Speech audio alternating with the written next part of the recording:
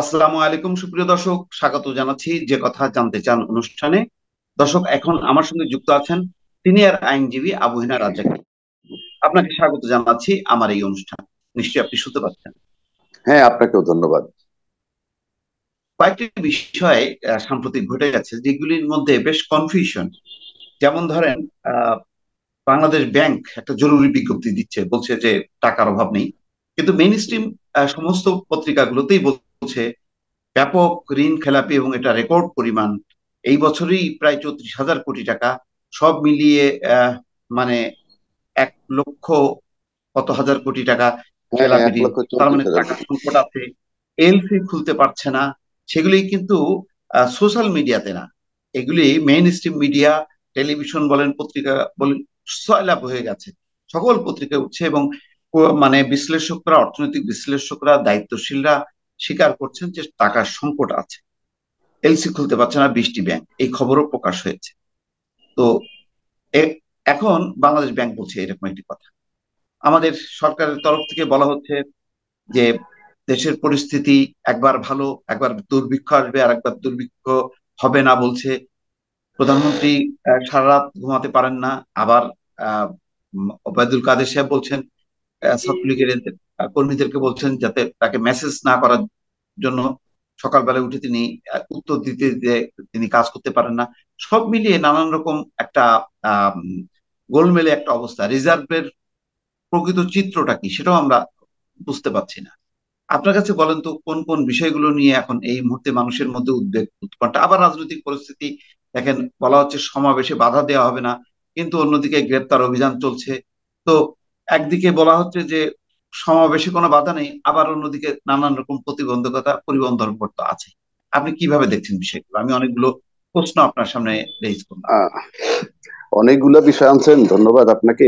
সবগুলি বলা কঠিন, তারপর আমি চেষ্টা করব। যেমন ধরুন, আপনি বললেন, আমি এই সার্বিক বিবেচনায় সরকারকে একটা বিশাল কৃতিত্ব দিতে চাই।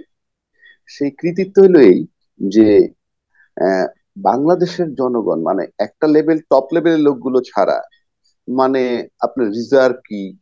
এটা শিখাচ্ছে। রিজার্ভের টাকা চলে গেল, কৈফিয়ত দিতে হয়। কিংবা রিজার্ভের টাকা কোথায় যাওয়া উচিত, কোথায় যাওয়া উচিত নয়।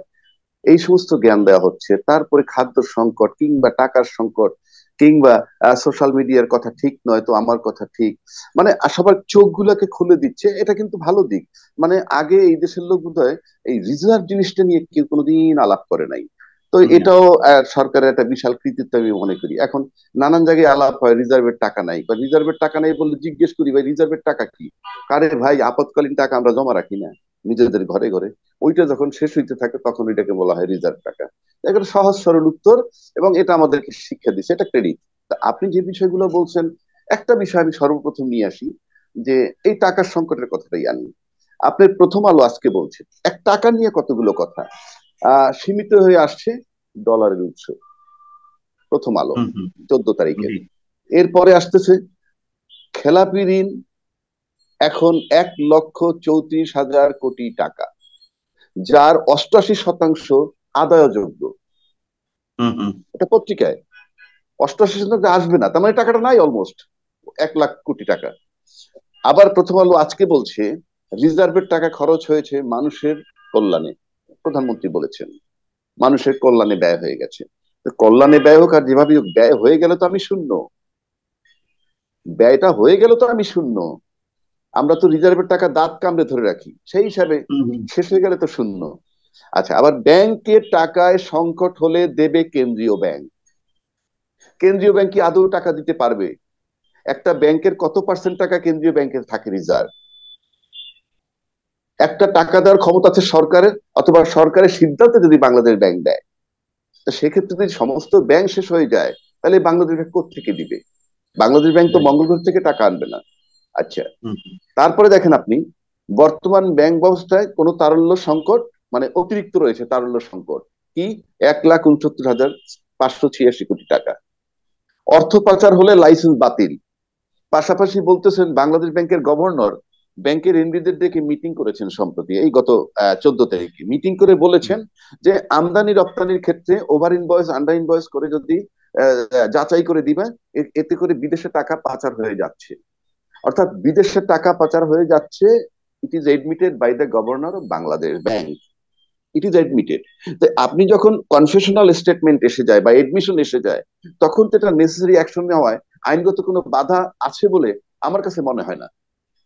দ্বিতীয় কথা হচ্ছে খেলাপি ঋণের অংশে পাচার হয়ে গেছে বলে মন্তব্য করেছেন অর্থমন্ত্রী মইনুল ইসলাম। খেলাপি ঋণের টাকা সিংহ পাচার হয়ে গেছে। এখন আমি যে কথাটা আপনাকে বলতে চাই, যেটা আপনি বললেন, সোশ্যাল মিডিয়া বলতেছে ব্যাংকে টাকা নাই, ব্যাংকে বন্ধ হয়ে যাচ্ছে। আবার বাংলাদেশ ব্যাংক বলতেছে টাকার কোনো অন্ত নাই। এলসি দেওয়া হচ্ছে না, আবার বলতেছে বাংলাদেশ ব্যাংক এলসির কোনো সংকট নাই। আচ্ছা বাংলাদেশ ব্যাংক বলতেছে টাকার অভাবে ব্যাংক বন্ধ হবে না। আর ব্যাংকগুলো বলছে বিদেশ মানে অধ্যয়নরত যে ছাত্রছাত্রীগুলো ছিল যাদেরকে স্টুডেন্ট অ্যাকাউন্ট করা হয় এটা almost ninety five percent close হয়ে গেছে। শুধুমাত্র যারা ইনফ্লুয়েন্সিয়াল পলিটিক্যালি ইনফ্লুয়েন্সিয়াল বা বড় বিজনেস ম্যাগনেট হ্যাঁ তাদেরটা যাচ্ছে। এছাড়া কাউটা যাচ্ছে না। আমার প্রশ্ন হচ্ছে আপনি বাংলাদেশ ব্যাংক সার্কুলার দিলেন সোশ্যাল মিডিয়া এবং ওই সার্কুলারটির ভিতরে বলছে যে সোশ্যাল মিডিয়ার লোকজন মিসআন্ডারস্ট্যান্ডিং করতেছে এবং ভুল বুঝাবুঝির সৃষ্টি করতেছে। প্রকৃতপক্ষে টাকার কোনো কমতি নাই। আপনি এই যে সোশ্যাল মিডিয়ার কথাটাকে ক্যাচ করে রিপ্লাই দিলেন ইট ইমপ্লাইজ ইট ইমপ্লাইজ যে সোশ্যাল মিডিয়া একটা এফেক্টিভ কিছু করতেছে। তা নাহলে আপনি সোশ্যাল মিডিয়া যদি ভুল বলে বা মিথ্যা বলে সোশ্যাল মিডিয়ার বিরুদ্ধে কিন্তু আইসিটি অ্যাক্ট আছে। ডিজিটাল আইনে মামলা হয়। আমরা দেখেছি বহু মামলা হয়েছে। তো এগুলো যদি সব মিথ্যা হয় পত্রিকার কথাগুলো যদি মিথ্যা হয় তাহলে ডিজিটাল আইনের মামলা হচ্ছে না কেন? আপনারা এত কনফিউজ করতেছেন কেন? জনগণকে বিভ্রান্তির মধ্যে রাখার কোনো অধিকার আপনাদের নাই। তারপরে আমি আরেকটা বিষয় আসি। আরেকটা বিষয় বলি এই সম্প্রতি পত্রিকা আসছে। এটা বলা যায় নেত্রী বনাম ওবায়দুল কাদের। কীরকম সেটা?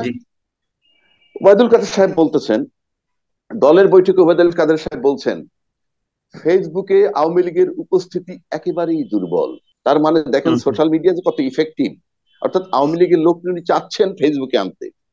আচ্ছা ফেসবুকে প্রধানমন্ত্রীর বিরুদ্ধে অপপ্রচার করা হয়? এই প্রসঙ্গে ওবায়দুল কাদের সাহেব বলেন আপনারা কি এর জবাব দিবেন না? আরে ফেসবুকে প্রধান বিরুদ্ধে মন্ত্রীর বিরুদ্ধে কিছু বলে তো গ্রেপ্তারি হচ্ছে। তো এখানে আর জবাব দেওয়ার কি আছে? আরও বলছেন উনি টকশো সম্পর্কে বলেন টকশোতে অনেকেই যান। মাঝে মধ্যে সময় পেলে শুনি। কাউন্টারটা যথাযথ না হলে কাউন্টারটা যথাযথ হতে হবে। এখন সেখানে উনি আরেকটা কথা বলছেন যে যারা টকশোতে ডাকে তারা নাকি আওয়ামী লীগের যারা প্রতিপক্ষ তাদের ভিতরে খুব চৌকস লোককে ডাকা হয়। আর আওয়ামী লীগের পক্ষ থেকে যাদেরকে ডাকা হয় খুব দুর্বল লোকের ডাকা হয়। তো আমি আমি মনে করি আজকে বাংলাদেশ যে কায়দায় চলছে তাতে যদি ওবায়দুল কাদের সাহেব একটা তালিকা দেন তাদের চৌকস লোকের আমার কাছে মনে হয় না কোনো চ্যানেল তাদেরকে বাদ দিতে পারবে। যে যদি কোনো চৌকস লোকের তালিকা দেয় যে ওদের মুখোমুখি গিয়ে বসো, তাহলে আমার কাছে মনে হয় কোনো চ্যানেল বাদ দিবে না। তো আমি এটা আওয়ামী লীগের স্বার্থেই বলব, আপনারা চৌকস লোকদের যারা ভালো বক্তব্য রাখেন, তাদের তালিকা সব চ্যানেলে দিয়ে দেন। উনি পাশাপাশি আরও কিছু কথা বলছেন, যেগুলো খুব কনফিউজিং উনি বলতেছেন, দেশের যে সার্বিক পরিস্থিতি এখন, সেই পরিস্থিতির মধ্যে প্রধানমন্ত্রী একেবারেই ঘুমান না। সারা রাত জেগে থাকেন এবং উনি চিন্তিত থাকেন। এবং ওনার ঘুমায় না সর্বক্ষণ এই পরিস্থিতি কীভাবে সামাল দিবেন সেটা নিয়ে চিন্তা করে থাকেন এবং যেখানে যখন যাকে প্রয়োজন তাকে ডাকেন কিংবা কল করেন। ভালো কথা প্রধানমন্ত্রী সম্পর্কে বলেন? পাশাপাশি ওনার নিজের বিষয়টা কি বলেছেন? ছাত্রলীগের নেতাদের মেসেজে বিরক্ত হন উনি। উনি প্রতিদিন রাত্রে মোবাইল সাইলেন্ট করে শোন। যিনি রাত্রে মোবাইল সাইলেন্ট করেন, তার ইন্টেনশনই হলেন সে ঘুমাবেন। তাহলে তো মোবাইল সাইলেন্ট করার কোনো মানে নাই। তো মোবাইল সাইলেন্ট করে উনি শুয়ে পড়েন। ঘুম থেকে উঠে দেখেন মোবাইলে প্রচুর মেসেজ তাতে তিনি বিরক্ত হন এবং সবাইকে বলছেন, আপনি আমাকে মেসেজ দিবেন না এত।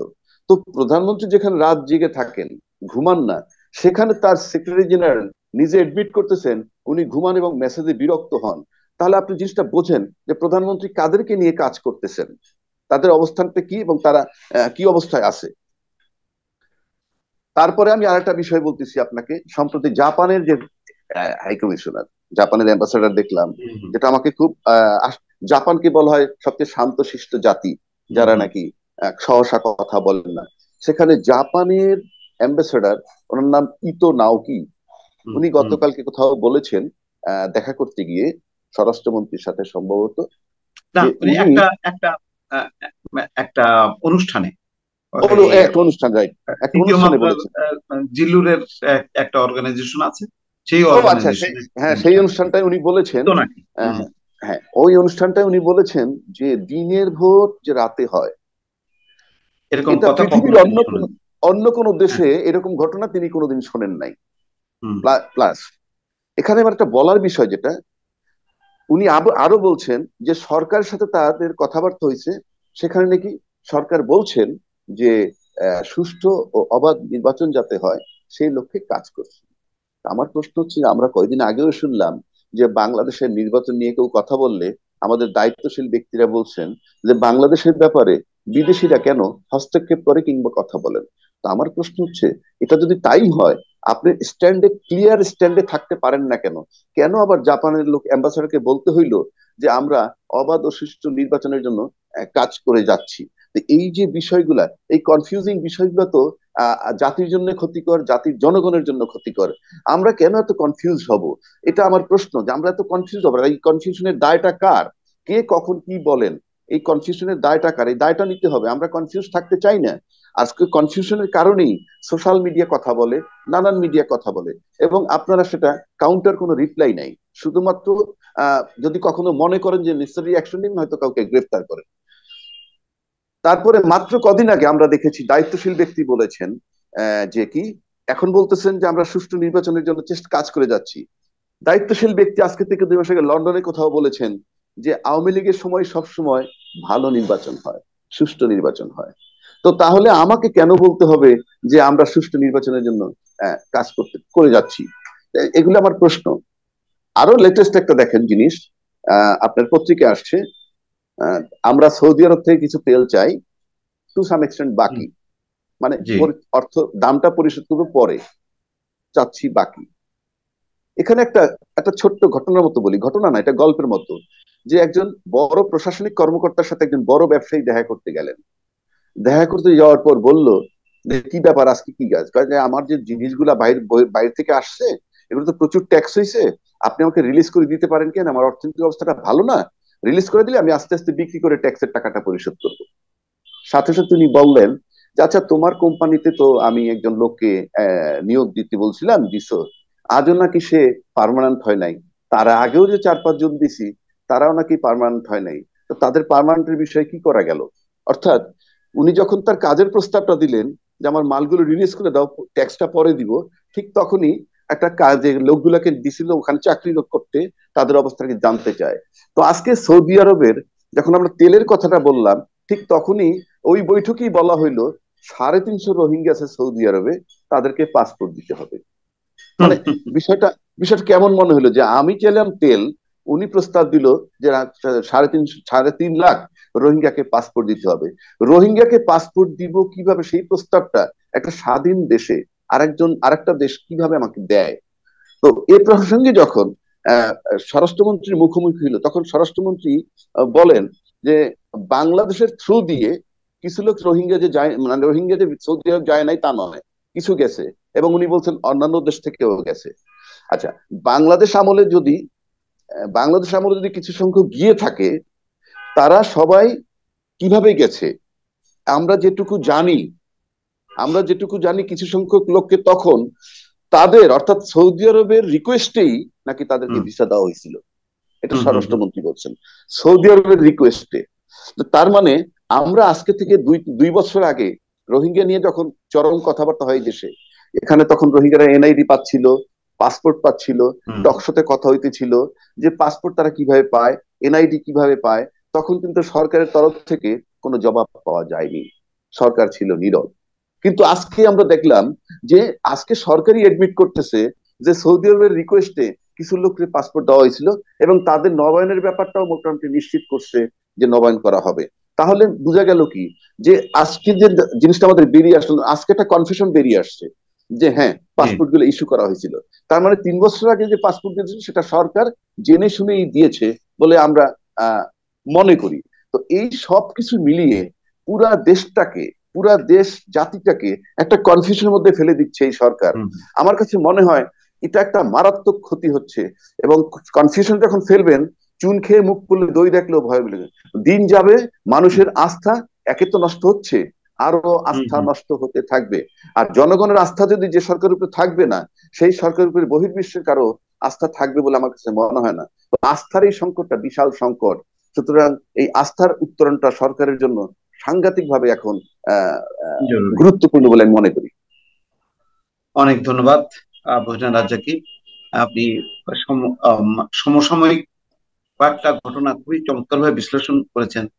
তো একটা বিষয় দেখেন শুধু আমি মন্তব্য করতে চাই সেটা হলো যে খবর এসছে যে দশই ডিসেম্বর ঢাকা অবরুদ্ধ করে রাখার পরিকল্পনা।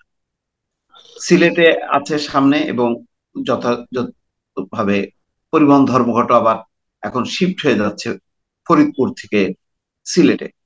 আবার ঢাকা অবরুদ্ধ তার মানে একই সঙ্গে পরিবহন ধর্মঘট হবে এবং বিচ্ছিন্ন করা হবে। কিন্তু আবার বিএনপি সমাবেশও করতে দেবে। তাহলে করতেও দেবো আবার আমি বাধাও দেব। এটা কি বৈপরীত্য না? এটাও কি কনফিউশন না? এটা কনফিউশন তো বটেই। কনফিউশন বলতে মানুষ এখন এদের কথা সবচেয়ে ইন্টারেস্টিং ব্যাপার এখানে লক্ষণীয়। যিনি সরকার তিনি ধর্মঘট ডাকেন। এটা আরেকটা আশ্চর্য ব্যাপার। মানে যিনি সরকার তার লোকেরাই ধর্মঘট ডাকেন। এবং বরিশালে আপনারা দেখছেন যে আজও কিন্তু সেই অ্যাকশনটা হয় না যেটা আমি আগের টকশোতে বলছিলাম। যে আপনি বিএনপির সমাবেশে যোগ দিছে বলে উনিশটা দোকান পরবর্তীকে শুনলাম আরও দশটা কত উনত্রিশটা দোকানে তালা মেরে দিছে। তো আপনি যদি এইভাবে কাজ করেন আপনি তো you are losing your popularity আপনি তো উচিত অবাধ তাদেরকে ছেড়ে দেওয়া। একদম ছেড়ে দেন। আপনি দেখবেন কিচ্ছুই হবে না।